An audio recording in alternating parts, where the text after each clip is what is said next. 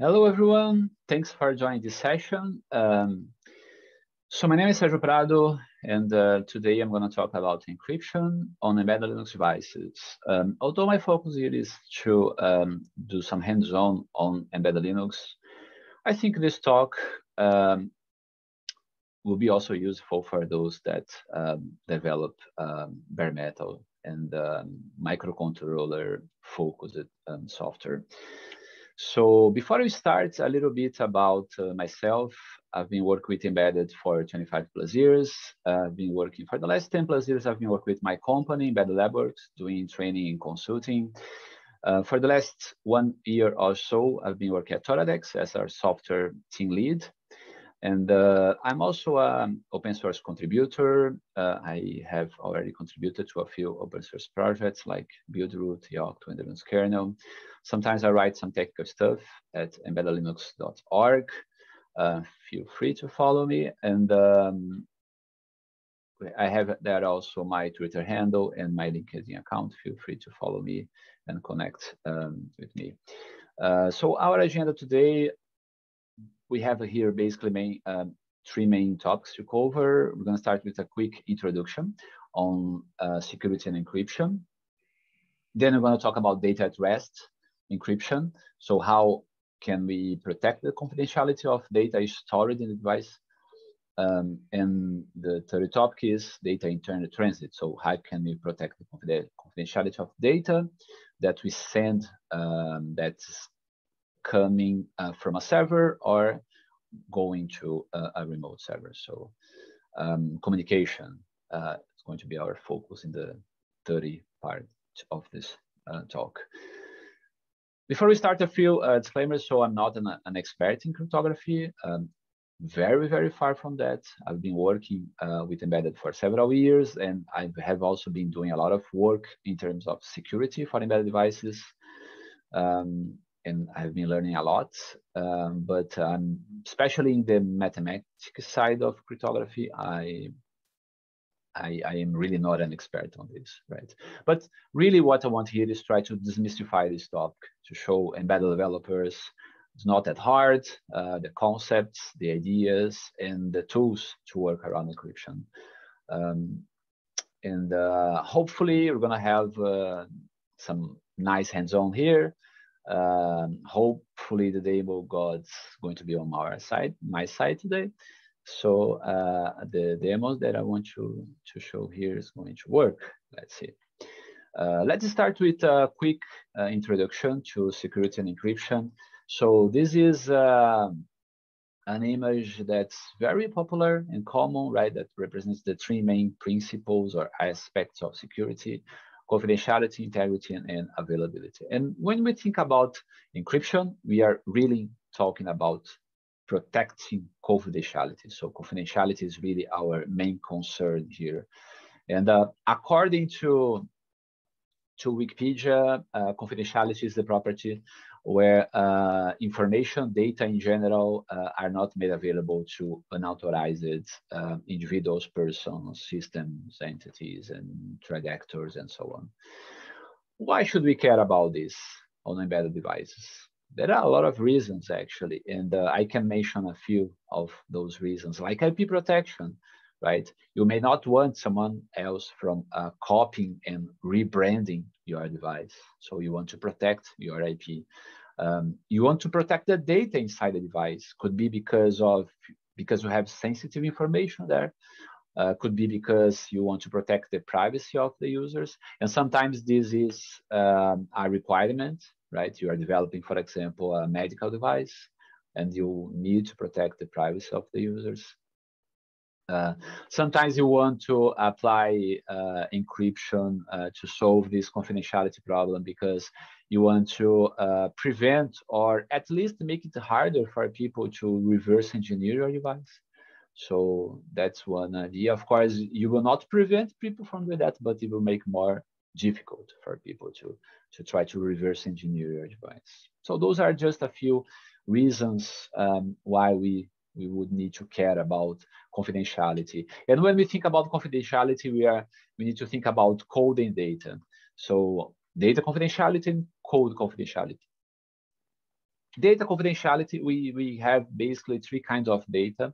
Data at rest, that's data stored in the device, like a flash memory, uh, an SD card, the MMC. Data in transit, that's communication data, data that you send to a remote server machine or network. And uh, data use, that's data that you are currently using, like data in RAM memory, data in registers, in the CPU cache. Um, for data use, usually this problem is solved by hardware.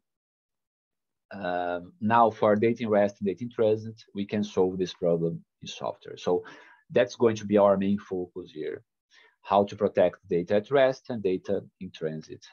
Now related to code, um, when you think about an embedded Linux device, we have the bootloader, we have the Linux kernel, we have a file system, and everything could be protected. But the main question is, do we need to protect all of this, right? For example, the Linux kernel, it's GPL v2. You would need to have to provide the source code of the kernel for your users if you are developing a device with, with Linux kernel.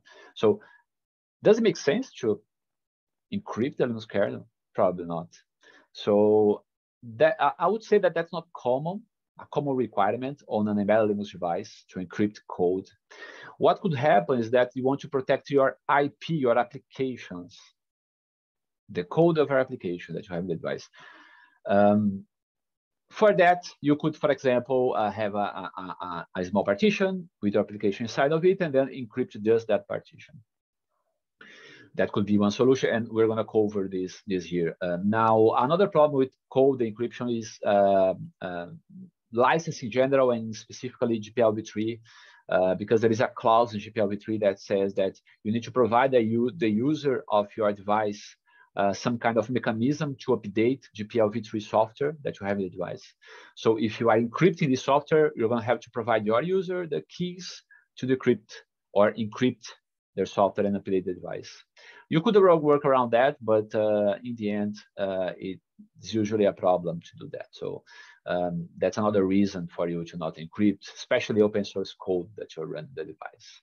Be also aware of um, Secure Boot. Secure Boot doesn't provide any kind of uh, uh confidentiality. Secure Boot is, is uh, mainly about integrity. So Secure Boot doesn't solve the confidentiality problem. How can we solve the confidentiality problem? I can see at least three ways encryption. So you can encrypt data in the device or code. Um, authorization. So let's say you don't want uh, the, the data to be accessible to everyone. So you will create some kind of um, uh, authentication mechanism in device. So only authorized people or um, systems can access uh, the data in your device. That's another way to solve this problem. Another way is tampering. So we have some kind of physical protection, right? So let's say uh, a threat actor uh, wants to extract the data, data from your device. Uh, you can have uh, a, a, tampering system where if the, the user or the threat actor open the device, the data inside of it will be erased. That's another way to mitigate this problem. And of course, here our main objective is encryption. So let's talk about encryption. What is encryption? It's the process of encoding information, right? So we have uh, um, the input is what we call a clear text, and the output is what we call a ciphertext. And in the middle, we have a cipher.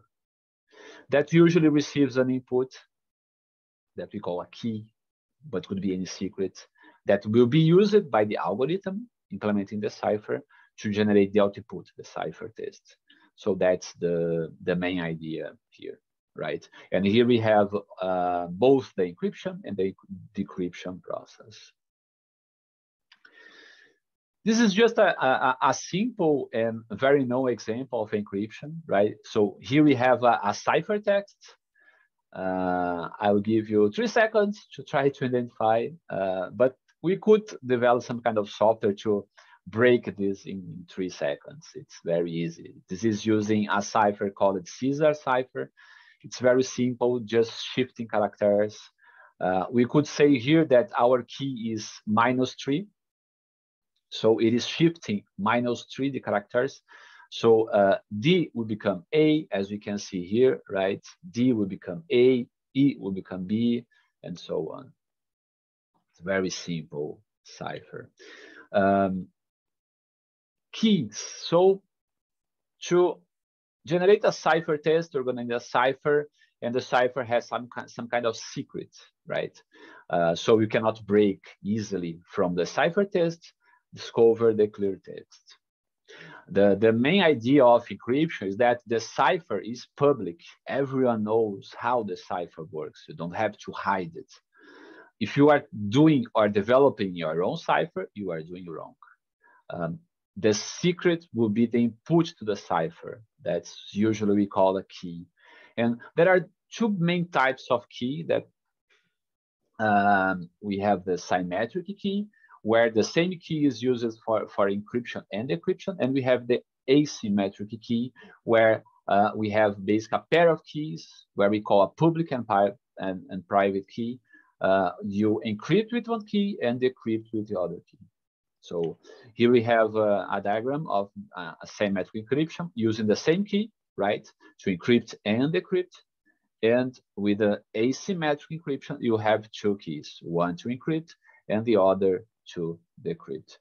Um, the cipher, the algorithm, makes sure that um, you, when you encrypt with one key, you can only decrypt with the other key and vice versa. So you cannot use the same key to do both encryption and decryption.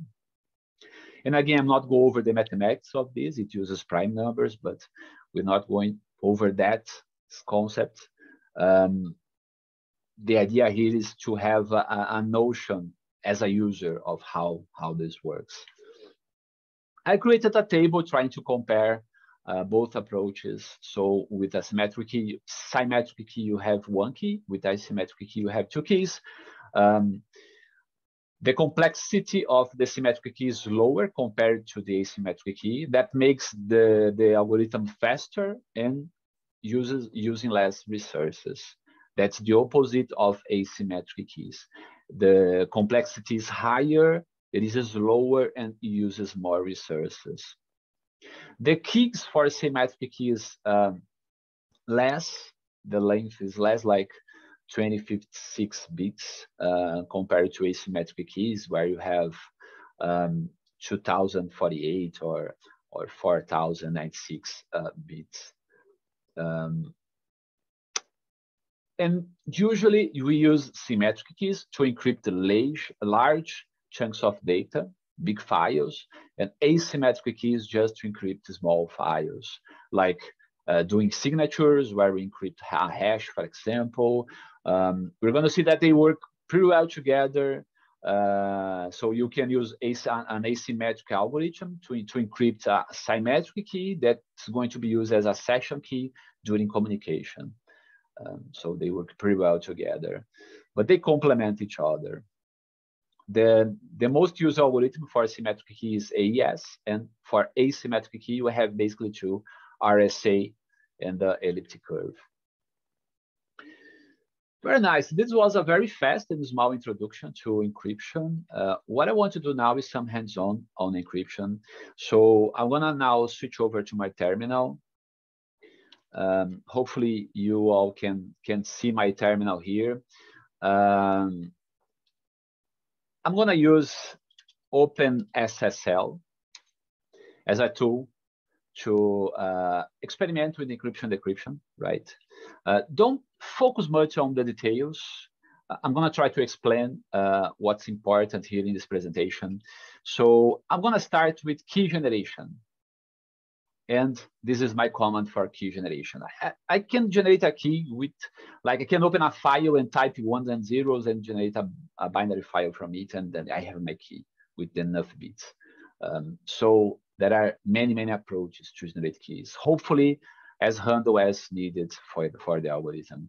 Here I'm gonna use OpenSSL to generate a key, right? Um, I, am gonna, basically I'm gonna do this is use uh, a key derivation algorithm. That's the, the, the one. And uh, this is my passphrase, and I'm asking it to generate a key, um, uh, deriving a key from this passphrase. That's basically what I'm doing here. And I have here my key. Now I'm gonna take this key and copy to a file because I'm going to use this key uh, to encrypt and decrypt. So let's do this. So I, sorry, Uh, so I saved the key in the file. Nice. Now I can use it for encryption and decryption. The first test I'm going to do, I'm going to encrypt this file, uh, manifest.txt. This is a, a, a, nice article from the Phrack magazine uh, about hackers. Um, I'm going to encrypt it with uh, OpenSSL, and this is the command. So OpenSSL encrypt, I'm going to use AES, that's uh, the most used algorithm, algorithm for, for, for encryption.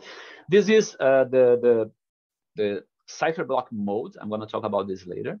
Um, I'm going to encrypt this. This is the input file. This is my key, and this is the output file. Very simple. Input, key, output, algorithm is AES. Done. So now I have my encrypted file. I can try to open here, and I'm going to see, I, I can only see garbage, right? Because it is encrypted. Nice. Um, now I'm going to decrypt it. So same command, but I have here the D for decryption. Uh, my input file is the encrypted file, .enc. Same key, we are doing here a symmetric encryption. And my output is the decrypted file. So let's run this. Nice. Now I can just cat the decrypted file. I'm gonna, I can see that's the basically the same file. Can even compare with the, the original file should and must be the same file. Very nice. Now, I have used here a mode called ECB. That's a very insecure mode. So uh, AES is a, a, block cipher. So it, it, it encrypts data by blocks. So it, take, it takes blocks of data and encrypt blocks. And there are, there, is, there are different ways to do this, right? How can you so like take blocks and encrypt blocks, etc. So this is one way, ECB, and it's very insecure. I, I just want to quickly show how insecure this is uh, with another example. So I have here a picture of our lovely uh, penguin Tux, right? I'm gonna what I'm gonna do, I'm gonna extract from, from this picture the header. I want this header. So I want to extract it. And I want to also extract this image, the body. That's the data of the image. So now I have the, the, the, the, the header, the header in the body. I, I want to encrypt the body. So I'm gonna run OpenSSL, same command, but encrypting the body. And I'm gonna generate the encrypted body. That's the image encrypted, right? Nice. Now I'm gonna convert back to a PPM file with the header that I extracted and the encrypted body. So in theory, this should be garbage, right? Because the body is encrypted. Yeah, let's see. Can you all see that uh, the penguin is there? So we are leaking information, right? Uh, of course, you cannot see the penguin because uh, blocks are encrypted, but because of the way ECB works, uh, it leaks information. Let me quickly show you the, the Wikipedia page that has a nice um, diagram for this. So this is how ECB works by blocks, right? So it takes a block a plain text from a block, encrypt with a key, and generates a cipher text. So, so for the same plain text, text, you're going to have the same cipher text, right? This is leaking information. So you know if you have the same cipher text uh, in different places of the, the, the file, uh, that means that the plain text is always the same. So you are leaking a lot of information here. Uh, there are other modes, for example, the CBC that I'm, I'm going to show show you now. The, so the CBC mode, it's um, it's um, it's better because um, it uses an initialization vector IV for each encryption. So it's it's a kind of more handle data to the to the encryption process, and then um, every cipher text will differ from the other, even if the plain text is the same, right?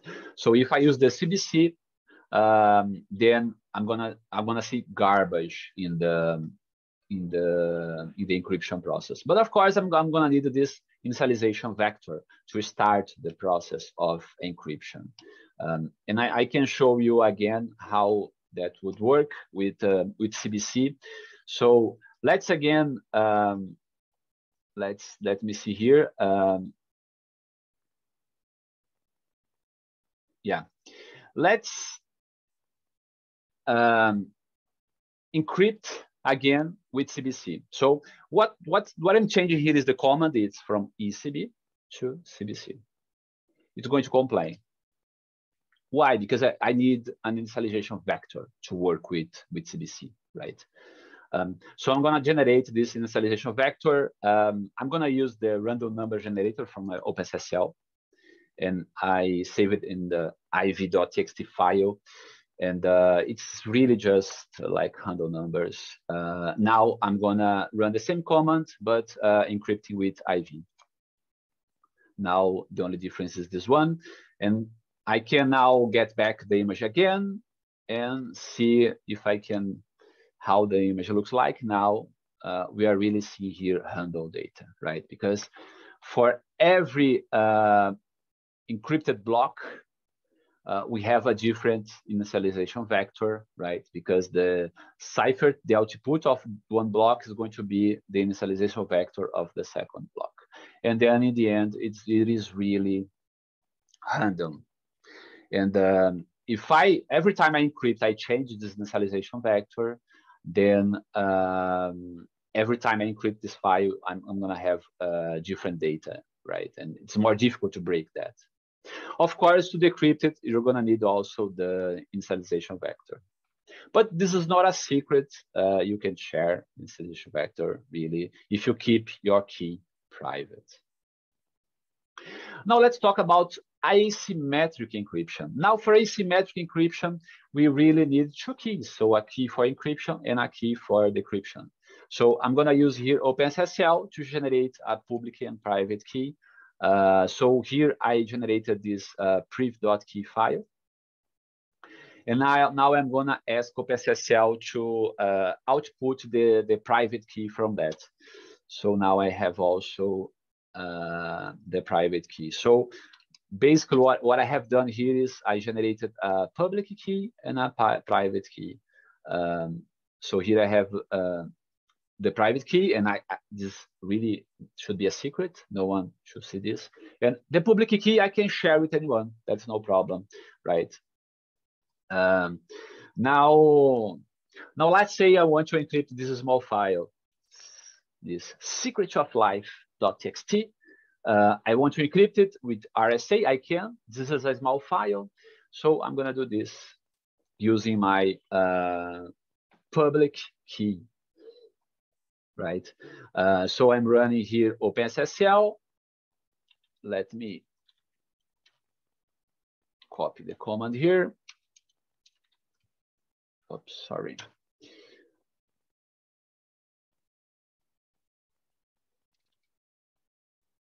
So this is the command. I'm using OpenSSL to decrypt, encrypt using RSA. This is my public key. This is the input file and the output file. Nice, encrypted. Now the file is just data, encrypted data. Let's say I want to decrypt it. Can I use the same public key for decryption? I cannot, right? So I encrypt it with the public key. I should decrypt it with the private key. So the decryption should happen with the private key. And now I can have back my uh, my decrypted uh, file. And it's there, same content. So that's how it works. We encrypt with a public key and we decrypt with a private key, right? Now, let's say I want to encrypt a big file. We cannot do that, right? Why we cannot do that? Because it works only uh, RSA in specific works only with uh, uh, data that's the same size of the key. So here I have uh, 4096 bits key, uh, the data should be uh, at most this size. So in this example, let's say I want to encrypt this, what I will need to do? I will need to generate uh, uh a private key. That could be my uh, session. Let's do this. I have here the comments. I'm gonna quickly do this. So let's say I want to encrypt. Uh, I, I want to, to send to someone, someone this big file encrypted right? But I don't want to share any secret with this person.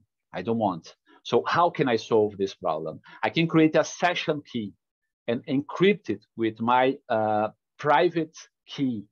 Um, and then the user that will open this file will use my public key to decrypt the key, the session, the key session, and then it will decrypt the file. Let's do, quickly do this.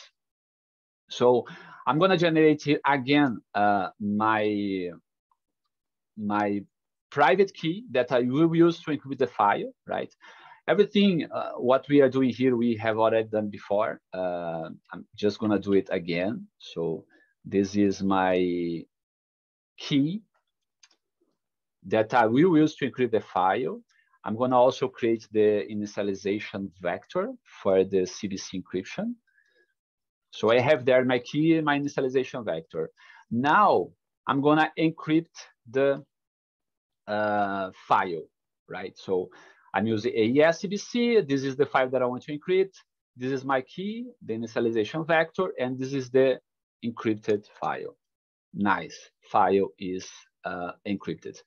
Now I'm gonna encrypt my key, the key that I use to encrypt this file. So I'm using RSA, I'm gonna encrypt with my uh, public key. Actually, here we could use the other way around, right? I can use here the priv key. Let's do with the, the public key, but could be also the other way around. I'm gonna encrypt with the key. Uh, so I, am encrypting my session key with my public key. Um, and then I have the encrypted key here. Nice. Now we have these three files, right? We have the initialization vector needed to decrypt the key. We have the encrypted key, and we have the encrypted file. Now, who can decrypt this? Only the one that has the private key, because I encrypted the key session with the public key, right? So I could do the reverse now. So let's say someone, uh, so in this specific example, what's happened is that someone is trying to send me an encrypted file, right? So this person uh, took my uh, public key to encrypt uh, session key, encrypted the file with the session key, and sent me the, the encrypted file and the encrypted key, right? and the initialization vector. So I can decrypt the key. So what I will do now is first decrypt the key, and then with the key, that's the session key, I decrypt the file. And now I have back the decrypted file with the content. So that's basically how, for example, TLS work. That's what we're going to mention later uh, and that's how how it works. And that's one of the usefulness of asymmetric key encryption. It's slow, uses a lot of research, so you have you need to focus on the small data with asymmetric cryptography. Um, but you can, for example, exchange keys with with it. That's very nice. Let's get back to our presentation now. I hope this hands was um, was useful. Um, we have more things to talk about now. Um, data at rest encryption. So now let's focus on the embedded Linux device. Um, let's say I, I, want to encrypt data that's stored in the device. We have basically two approaches. We have uh, we can do full disk encryption or we can uh, do file-based encryption. For full disk encryption, we have dmcrypt. That's a device mapper um, target from the Linux kernel. Um, and uh, you can enable and use it. Um, it's going to be basically a layer between the block, Linux block layer and uh, between a block device and the file system layer. So every read or write to a file system will generate uh, calls to this layer that will do the encryption and encryption on the fly. That's one way to work with encryption. The other way to work with encryption on embedded Linux is to do uh, data at rest. Um, oh, it's to use uh, uh, a tool that will uh, encrypt files inside a file system or directories. So you can also work at the file system level instead of working at the block level. Uh, the two main approaches, uh, the two most used approaches are uh, FSCrypt and eCryptFS. Um, I'm gonna do a, a quick hands-on here with uh, FSCrypt. So let's first talk uh, a little bit more about those two approaches. Uh, DMCrypt, DMCrypt, it's a transparent disk encryption subsystem for, for Linux. It's implemented at the, the kernel level, and, and there are user space tools for you to configure this. Um, it is basically, as I mentioned, earlier, um, on top of the block device. Uh, so it's between the block device and the file system. And that's uh, more or less what is represented by, by this diagram. So every read and write in the file system uh, will be intercepted by uh, DMCrypt that will do the encryption on the fly. And um, this is a quick and dirty way to enable DMCrypt. It's not that hard, and that's one thing that I want to demystify here. It's not really that hard. We're going to do it in a moment in the terminal.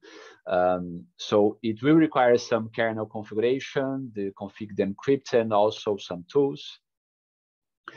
Um, you have to format the disk or the partition. And uh, the most common format that we use is LUKS, Linux Unified Key Setup. It's open uh, and standard. Uh, it's not really Linux related. Can be used in other uh, kernels, um, but it's really uh, used on, on Linux systems. And um, I'm going to talk about those commands uh, in a second in, a, in my hands-on. This is the quick and dirty way to enable um, encryption at the block level on Linux. FSCrypt is another way to do it. It's basically an API that is implemented by a few file systems like ext4, F2FS, uh, and it works at the file system level. Basically, you define a directory and it will encrypt or decrypt everything that is within that directory. Again, you have to enable uh, an option in the kernel and uh, you have some user space tools. You need some user space tools to, to work um, and configure a directory with encryption. I'm gonna also explain those commands right now in my uh, second hands-on. So let's do it. Um, here I have a console. Um, basically, I build a pretty small um, image with um, with Buildroot. Uh, I have here, um, first of all, I'm running um, on a Toradex module, uh, Apalis IMX6, and I built this small uh, Buildroot system to do some tests on encryption. So I have really here um, almost nothing running user space, as you can see. Um, I have a few tools to, to work with encryption. And I'm also doing network boot. So I'm booting the kernel and the word file system via networking. So it's easier uh, to change the system and do development. Nice. Let's let's do some um, some tests here. So I'm gonna I'm gonna start with uh, DMCrypt. Um, let's start since we don't have much time. I could spend here uh, half an hour to, to show a lot of details about this. I'm gonna do I'm gonna do two hands-on here, um, encrypting uh, a partition with encrypt and uh, encrypting a directory with FSCrypt. So let's see how it works. Um, let's let's start with uh, with encrypt. So I have here connected in the module. I have um, a pen drive with a few partitions. We can see here those SDA one, two, three, four. Those are four partitions inside my pen drive. I'm gonna work with SDA four. And um, I'm gonna first configure DMCrypt to uh, encrypt the full partition. So how that works? First, I need a key. So I'm gonna generate this key right now in my device. Can you see the same command that I run the device in the in my machine? I'm running here uh, in the device. So I'm going. I'm creating an AES key. I'm gonna save it in a in a file. This key. Uh, I'm gonna talk a little bit about key management because, of course, you should not have a, a key.prev file uh, stored in the file system, right? Uh, the security of your encryption is uh, as good as the way you save the, the, the, private keys. So it's important to care about that. We're gonna talk a, bit, a little bit about this later. We're not caring about this now.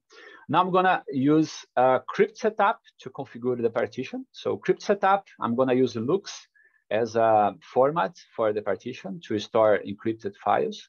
And this is my encryption key. Should take a few seconds to format this partition. After that, what I'm gonna do is uh, open access to this uh, partition. So to open access, I need this key. So this is very important. Um, and of course, I should take this key from some secure place. But for now, I'm not care about this. What I'm asking here, Crypto Setup, is to uh, create a, a, a, virtual block device called a uh, map it to this physical block device uh, that is using uh, DMCrypt, right, for encryption.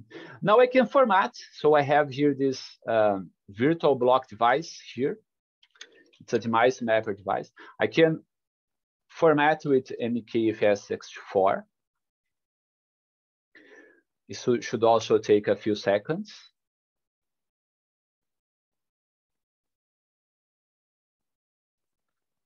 Let's wait hopefully doesn't take too long. Nice. Formatted, I can mount uh, in any directory in my file system. I'm mounting on the slash data. So now I have here in slash data an encrypted mounted file system. So um, let's, for example, um, create a file here. Um, so I don't know, uh, touch hello inside slash data slash, sorry, touch data hello. Nice. So this file is encrypted and I can, of course, write to it. And every operation that I'm doing inside this directory is is encrypted, right? And uh, now let's let's reboot the device. So I'm gonna reboot here. Should also take a few seconds to boot, hopefully not too much.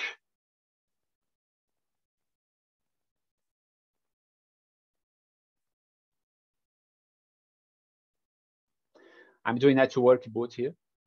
So it, it will take the kernel from from uh, networking using um, TFTP, and then it will boot the file system uh, via um, NFS.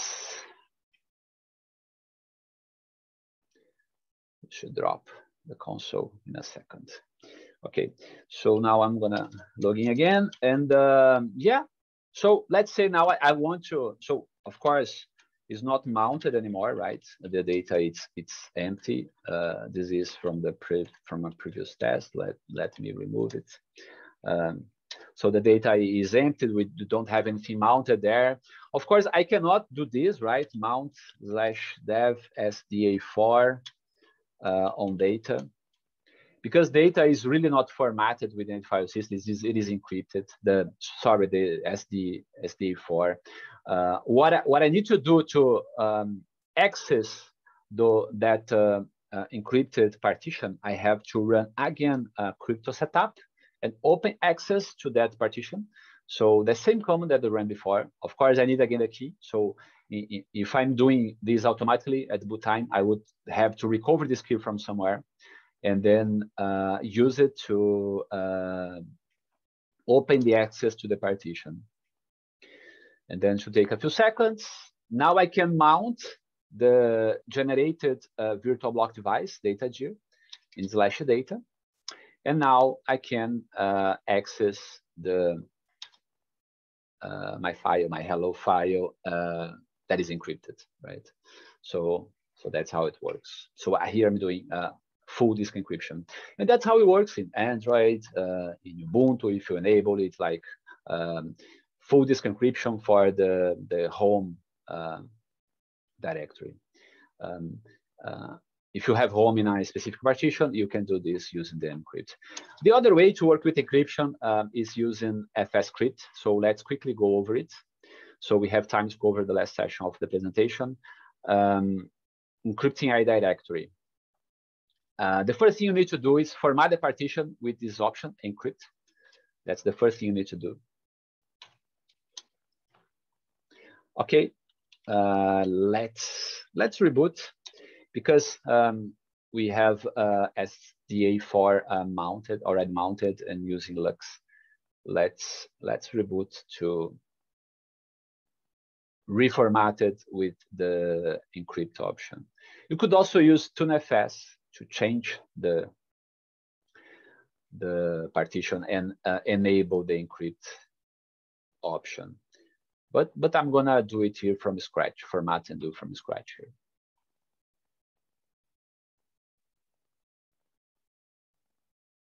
Okay, we are there. Um, so yeah, let me run again the format.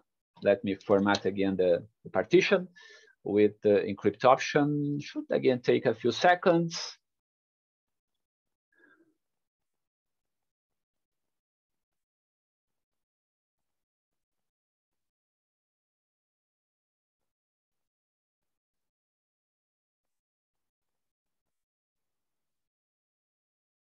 Good. Now we can mount this partition. It's a standard ext4 partition. I'm mounting on slash uh, dash slash data. Now I'm gonna create a directory inside there, call it secrets. And I'm gonna encrypt it. So I'm gonna generate a key. Again, here I'm using another way to generate a key, right? Uh, uh, taking data from urandom, just as, a, as an example. So this is my key, should be secret. Uh, first thing you need to do is to add this key to the key ring. That's a, a, a ring buffer of keys in the system. So for that, we're going to use this tool, FS Crypt Control. Um, it generates me a descriptor for this key. Then I'm going to use this descriptor to configure a policy for a directory. So I'm saying that this directory should be encrypted with this key. That's it.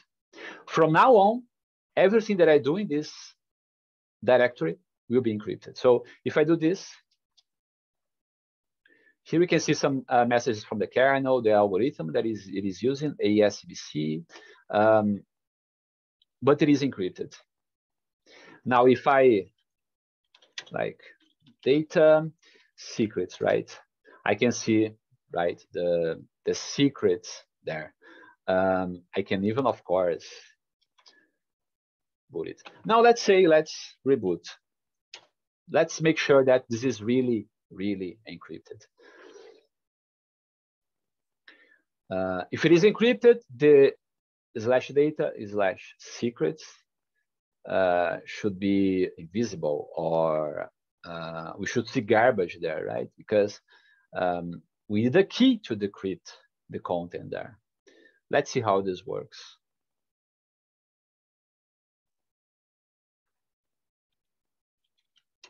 Okay, so I'm gonna mount the partition again, mount it. Uh, if I list the content there, what's going to happen? Garbage. So the, the, the content of the file is encrypted and also the um, file name. Um, so everything inside this directory is encrypted. Um, you cannot see even the file name, the, the name of the files that you have there. Now, to use this again, I will have again to take my key, insert the key ring, and then set the policy with the correct key. So now I can again read the data and the, the directory. So every boot I will need to do this. Take the key from somewhere, add to the key ring, and set a policy so that key can be used for, for decryption on that specific directory. It's not that hard, it's not that difficult, right? The only problem here is where should we store this key? So we should really um, care about this, right? Where to store the key. It should be in a secret place uh, where no one has access to, even you, right? Should be really, really secret. But of course, not it should be you should be able also to extract the key at runtime to do the decryption. So uh, what are the possibilities here? Um, you could use some research from the processor. Uh, for example, CAAM uh, is a, a, module from IMX um, SOCs from NXP. You could use that. Um, there is a, a, master key inside the, the CAAM module. You could use the master key to encrypt your key. So the idea would be when you boot, uh, you generate a key for encryption. The first boot, the first ever boot of the device could be in production. You uh, generate a key, then you use the, the master key from the CAAM module that's unique per device to encrypt that key and save in your device. And then on every boot, you would uh, take this encrypted key and ask at runtime uh, the CAAM module to decrypt it for you so you can use it to decrypt the partition. That's how it would work in this specific case. Um, if you don't have any resources in the hardware, you could use some external hardware. Like if you don't have resources in the processor, the SoC, you could use uh, external hardware, like a, a, secure element or a TPM for that. Um, the idea is the same, right? To use uh, an external engine to do this kind of uh, secure storage for you. Um, a secure element is a very popular uh, hardware device. So SIM cards are secure elements. Uh, smart cards are secure elements, but they are not so, uh, I would say, uh, popular on embedded devices. On embedded devices, I, at least from my previous experience, TPM, TPM um, devices are more popular. And uh, but in the end, you could do the same with both store secrets and use it to um, um, to decrypt your key for uh, disk encryption. That would be the idea. Another way would be to use a trusted execution environment. So if you are uh, developing on ARM, you have, for example, TrustZone there, you could uh, use a trusted execution environment um, like OP-TEE uh, to, to store secrets in the, in the device. That could be another, another way. I'm not go go over the detail the details of this, but I want to mention a few options to uh, store secrets in the device. You can use resources from the SoC. You can have a, a, an external hardware like a TPM, or you could use, even use a trusted execution environment for that. Very nice. Uh, we are kind of uh, out of time here um, in our presentation. I have uh, a few minutes. Um, I'm gonna quickly uh, cover the last session, data in transit encryption. Here is very simple. You want to encrypt uh, data that you want to send or receive from a, a remote machine. Um, there are basically two approaches here. Um, you can use VPNs for that. If you want to encrypt the full communication, right? You, you want an encrypted tunnel, uh, you can use a VPN for that. So we have uh, IPsec. It's uh, protocol suite that you can use for to create uh, encrypted tunnel. You can use OpenVPN, is a, um, a user space software that uses OpenSSL and TLS to create encrypted tunnels. A more modern approach is WireGuard, another um, um, uh, implementation of VPN at kernel space, very fast, very focused on embedded, very nice. If you don't know, I would suggest you to have a look at at WireGuard. Now, if you want to just encrypt communication between one application to a server, usually we use TLS for that. Um, sometimes people uh, uh, say SSL, but they are they really mean TLS. That's the the newer version or or the successor of SSL, right? And uh, specifically on embedded devices, uh, it is recommended to use MTLS, mutual TLS. The, the main difference is that with TLS, the client uh, authenticates the server, right? So when I'm here in my browser and connect to Google, my browser, for example, Firefox, will authenticate Google to see if I'm really talking to Google using certificates. Now with MTLS, the server will also authenticate the client. So in an embedded solution where you have like a serving, a server where you communicate, it's important for the server to know that is talking to the correct client. So you will want a server to authenticate the client and, and there we use also MTLS. This is a kind of a diagram explaining uh, TLS in a nutshell. So in blue, we have basically the TCP connection and in, in, in green, we have the TLS connection. So the client sends a hello world message saying, hey, I'm this client, I support this uh, version of the protocol with these ciphers and so on. And then the server will reply, nice, so let's do this. Let's use this protocol with this cipher. The server can also ask for a certificate and the client will send the certificate. And then the client will create a kind of a pre-master key for communication. And it will use the public key of the server to encrypt this uh, pre-master key and send to the server. So only the server will be able to decrypt and uh, find out the, the pre-master key because um, it needs the private key for that and only the server has the private key. And then when both has this private, the pre-master key, then they will generate another key using a key derivation algorithm for that. And that key will be the session key for communication. And then they will exchange the finished messages to make sure everyone is talking with the same key. And then they start communicating with each other. So we can see that there is a algorithm here for key exchange. And they use asymmetric cryptography to exchange keys. And after that, they use symmetric cryptography, um, the, the session key uh, for real encryption of data. Very nice. I had a, a final uh, hands-on here uh, with some uh, demonstrations on how MTLS works. Uh, unfortunately, we are out of time. Um, so um, as soon as this is online and um, the conference is over, what I'm gonna do, I'm gonna publish an article on embeddedbits.org about all of these with all of the comments and explanations. So for those that like those that like a more documented uh, approach uh, for of how all this works, uh, I'm gonna uh, write a blog post about it. So so just follow follow my blog and uh, it will be there um, a few weeks probably after after the conference is is over.